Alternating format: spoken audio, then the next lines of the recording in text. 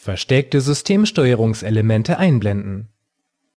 Wussten Sie, dass Microsoft einige Elemente der Systemsteuerung eigentlich recht unbegründet via Registry-Eintrag versteckt hat? Wir zeigen Ihnen welche und wie Sie diese einblenden können.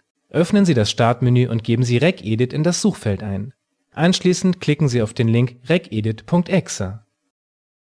Im Registrierungseditor suchen Sie folgenden Schlüssel: HKey Local Machine, Software, Microsoft, Windows, Current Version, Control Panel, Don't Load. Don't Load bedeutet übersetzt nicht laden, womit alles gesagt ist. Sie könnten diesen Schlüssel nun komplett löschen. Dann würden alle hier aufgeführten Elemente der Systemsteuerung angezeigt, allerdings manche auch doppelt. Um dies zu verhindern, sollten Sie einzelne Zeichenfolgen aus dem rechten Fenster löschen, zum Beispiel tabletpc.cpl. CPL steht für Control Panel Applet und bezeichnet ein Plugin für die Systemsteuerung.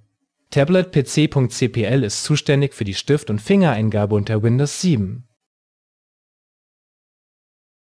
Übrigens auf http://dewikipedia.org/wiki/systemsteuerung finden Sie Erläuterungen zu den nichtssagenden CPL-Dateien.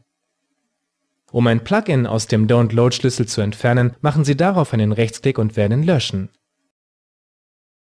Den Warnhinweis bestätigen Sie mit Ja. Dennoch können Sie die Datei offensichtlich nicht einfach so löschen. Ihnen fehlt dazu die Berechtigung.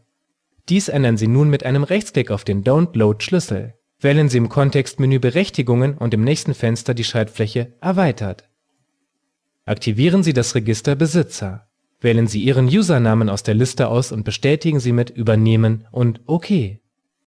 Schließen Sie auch das nächste Fenster mit OK und öffnen Sie es erneut. Klicken Sie unter Gruppen oder Benutzernamen auf Ihren Namen und aktivieren Sie das Kästchen Vollzugriff unterhalb von Zulassen. So, noch schnell mit OK bestätigen und nun sollte das Löschen funktionieren. Zur Überprüfung wechseln wir schnell in die Systemsteuerung, indem wir im Startmenü auf Systemsteuerung klicken. Tatsächlich, die beiden Elemente Stift und Fingereingabe sowie Tablet-PC-Einstellungen sind neu hinzugekommen. Wenn Sie diese beiden Elemente wieder verstecken möchten, gehen Sie den umgekehrten Weg. Sie müssen dann eine neue Zeichenfolge einfügen und so benennen wie die zuvor gelöschte, in diesem Fall also tabletpc.cpl. Noch einmal ein Wechsel in die Systemsteuerung, die man schließen und neu öffnen muss, um Änderungen feststellen zu können.